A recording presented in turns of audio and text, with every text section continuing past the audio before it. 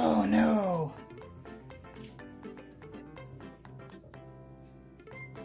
Okay, so I forgot to press record the first time. Inside the Instant Pot, I have loaded in one cup of arborio rice. Nope, arborio rice.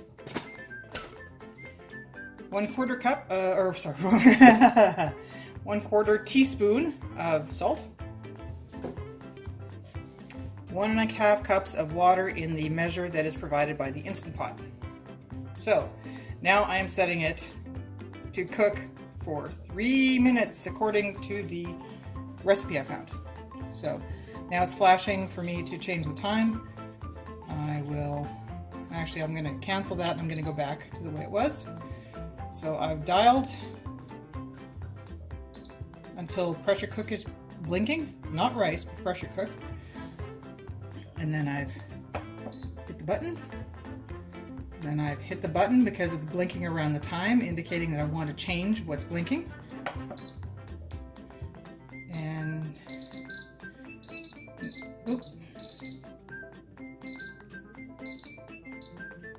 two, three. I want three minutes. And uh, no delay. Keep warm may as well be on.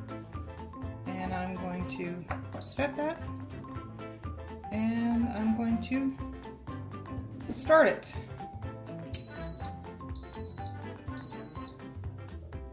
And later when I make the chili, I'll show you how to check the valves and everything and make sure that they're operating because really they're the only thing that could really ruin your day.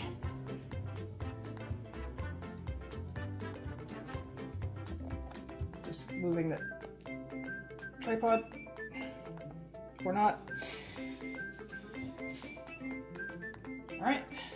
here it's warming up to cooking heat. And I'm going to be making a series of these Instant Pot videos um, for anybody who wants to watch them, and for my mom. She's getting an Instant Pot, Instant Pot, and sometimes she needs to see it close up and practically. I'm not going to try and skip over any steps, so I'll just skip over what's happening.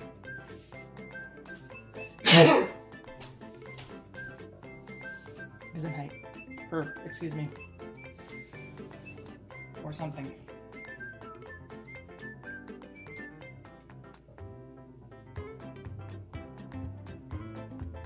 Well, while this is um, going, I guess I'll start the next ingredients, which is uh, two cups of whole milk divided, one and a half cup, or sorry, one half cup of sugar, half a cup of sugar, um, two eggs, and a half teaspoon of vanilla extract. I am skipping the raisins. I'll put the uh, the recipe down in the description.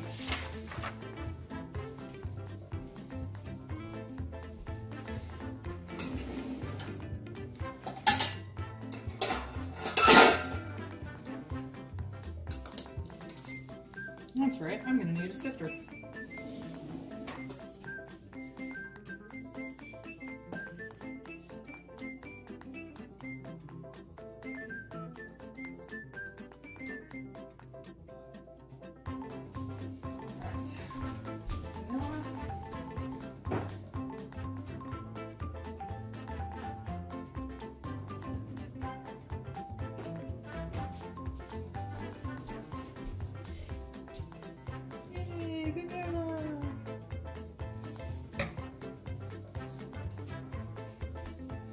Salt away so I don't accidentally use it again. Put the rice away so because I don't need that.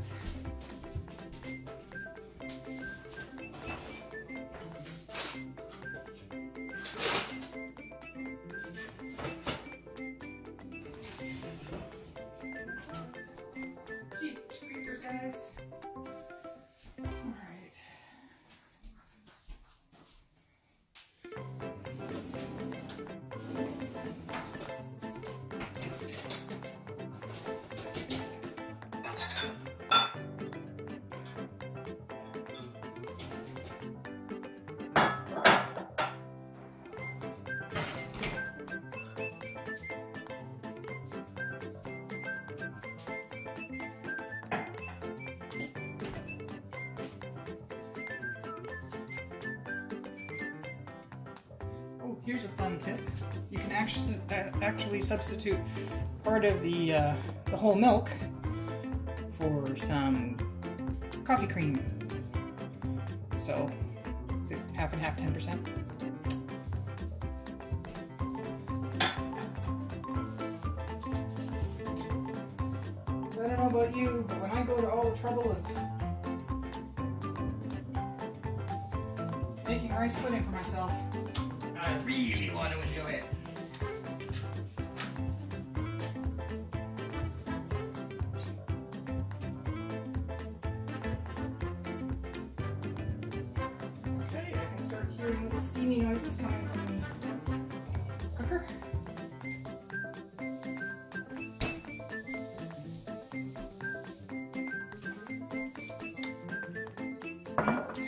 The little doohickey climbing now. It's still in the preheating zone, but it's almost to boiling.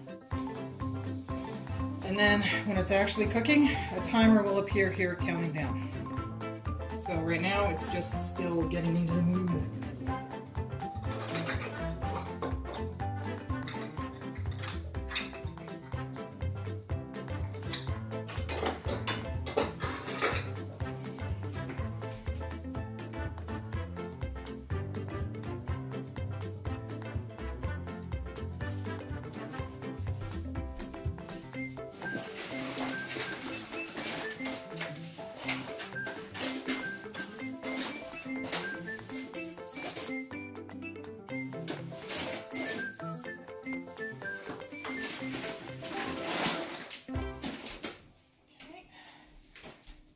These two little critters are going into the pressure pot. There's the sugar. There's the milk slash cream mix. All right, it is actually beginning to cook the rice now. So the timer's on.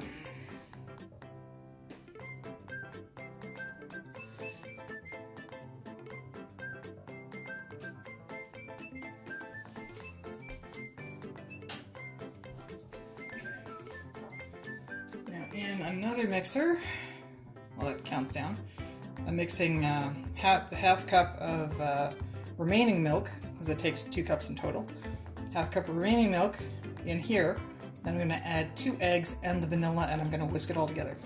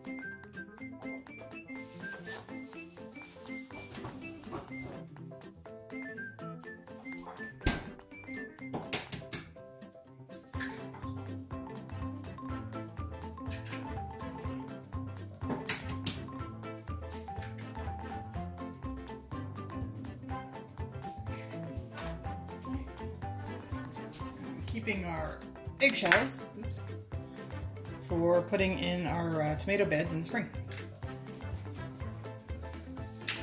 Our soil has a calcium deficiency, so the eggshells have plenty of calcium.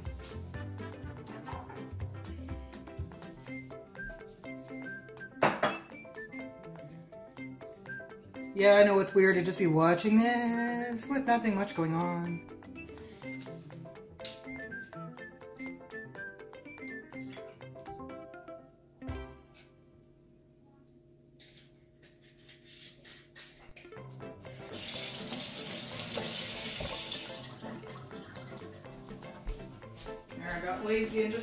Cap of the vanilla bottle to measure with.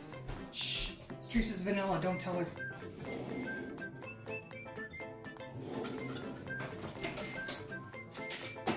Okay. Now,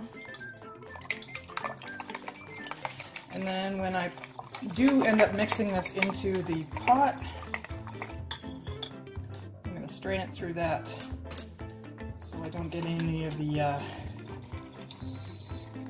particularly proteinous bits from the egg yolk or white or whatever it is.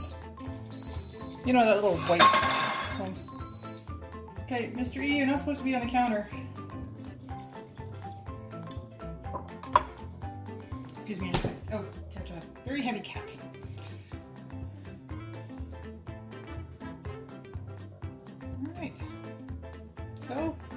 We'll wait until it finishes its uh, cycle. Okay, it's done. Here's the pudding. Do you want some? Come on, eat it, eat it, eat it. Oh, guess you just have to make your own.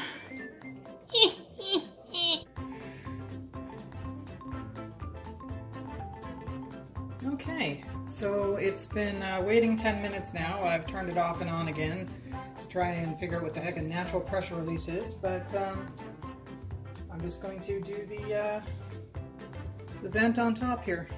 So I'm bringing you with me at a safe distance.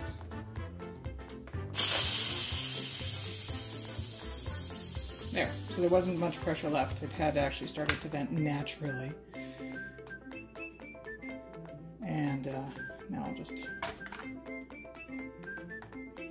that's in the right position. That's right, you're taller now. Okay, now I'm going to open it. And remove the lid, and apparently there was some suction. okay. And we have really nicely cooked rice. Call me shocked. I'm shocked when a, when a recipe seems to be working. Don't worry, I'll find a way to screw it up. Add the sugar.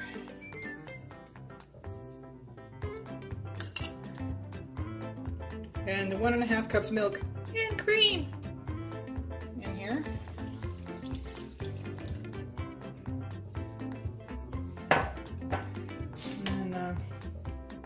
I'll use the rice paddle to combine. It says stir to combine.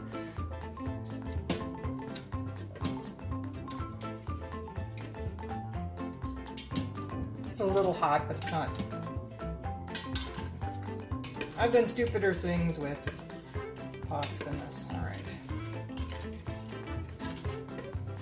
So my version of stir to combine is stir until it doesn't sound gritty anymore. Until all the sugar has been incorporated.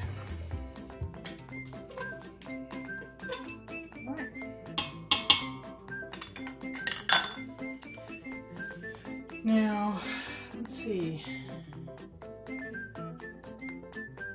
Okay. So now I'm going to uh, take my sieve here. And this is the egg and the vanilla and the other half cup of milk. Sieve it through.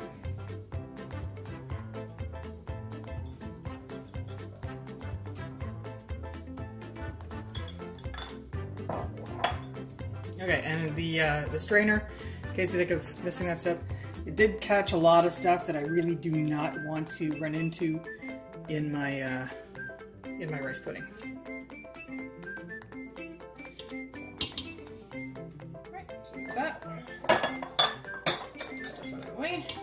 Ooh, there's a jelly bit. Okay. Um,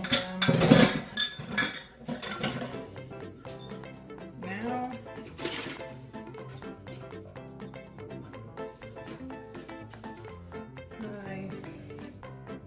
make sure it's plugged in again.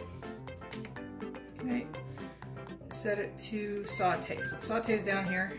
So I just got to keep going until the little flashing light is where I want it. There we go, saute.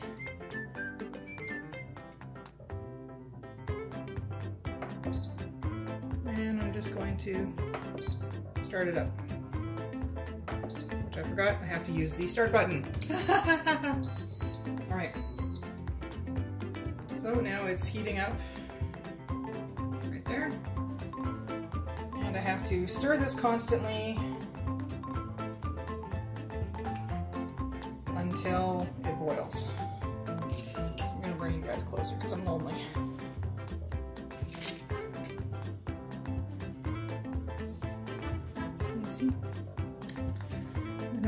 actually expecting you guys to answer me, but sorry while I adjust this.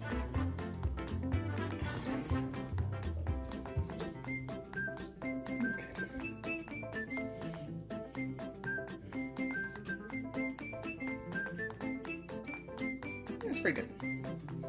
All right.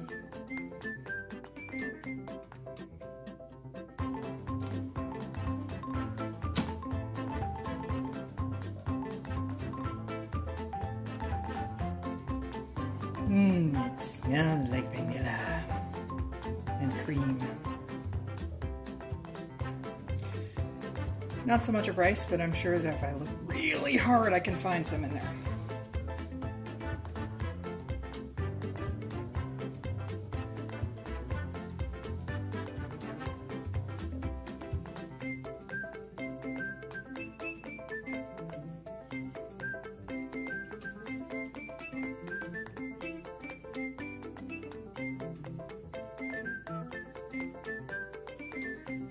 The original person who listed this um, was uh, Barbara Schieving.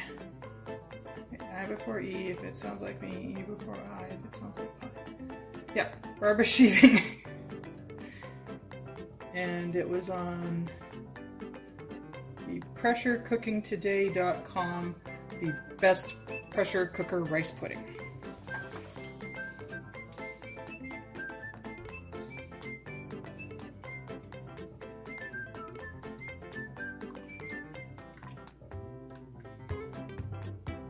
Yeah, I can feel heat now coming off the um, off the uh, liquid.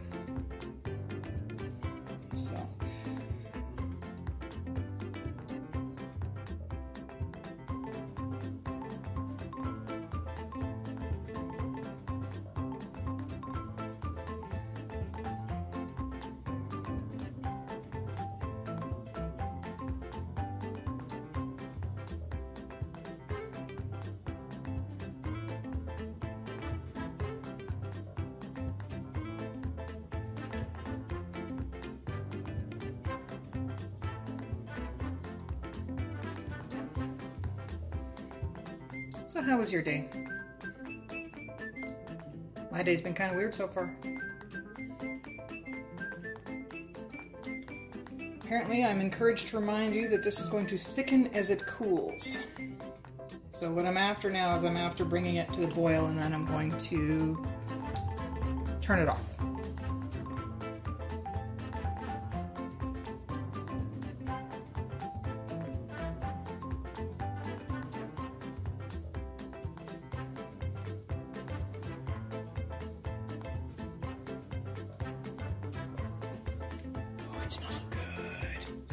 Sorry, has not yet been invented, and if it was, they'd still get it wrong.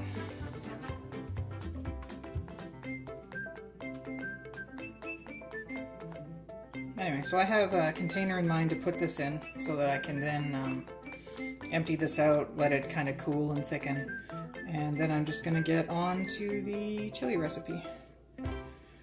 And I know some people don't put beans in their chili, but you know what? After this point, fine, you want to be a chili snob?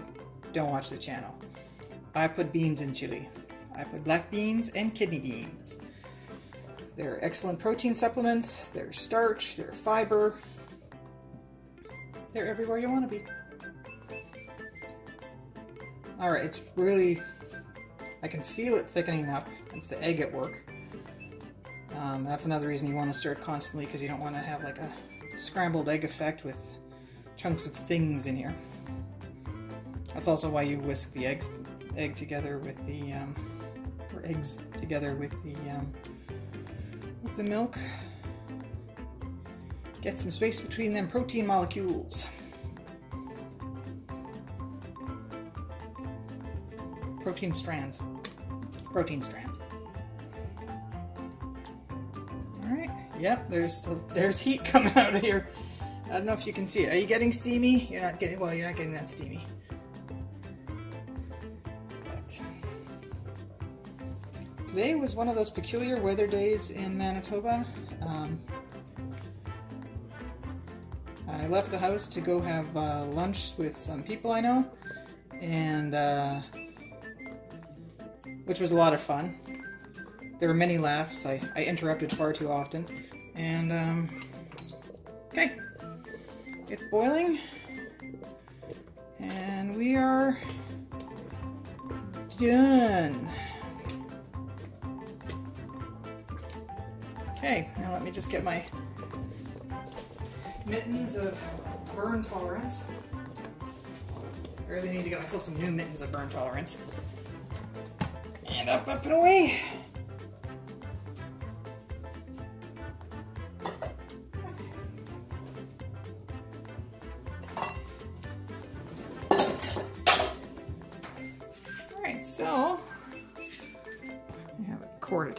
Here.